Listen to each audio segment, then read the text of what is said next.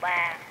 Em thương cậu, Mà cậu thương ai á? Bóng đò gặp ngang bên sông, biết em sang lòng anh vui thầm.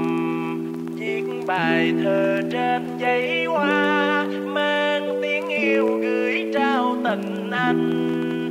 Thầm mong ông ta sẽ mối để cho hai đứa mình gần nhau. Hẹn mai đông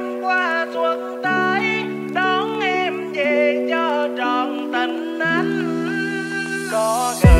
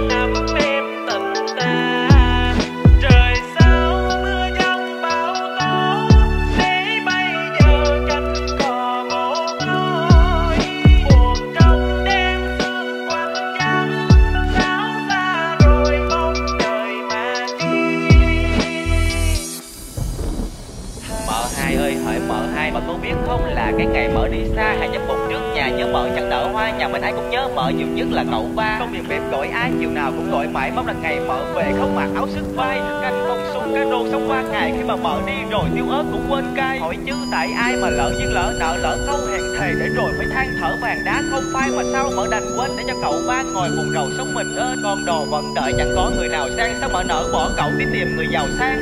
Mợ hai ơi hỡi mợ hai Cậu thương mợ mà lại thương ai á mà mợ lại thương ai á?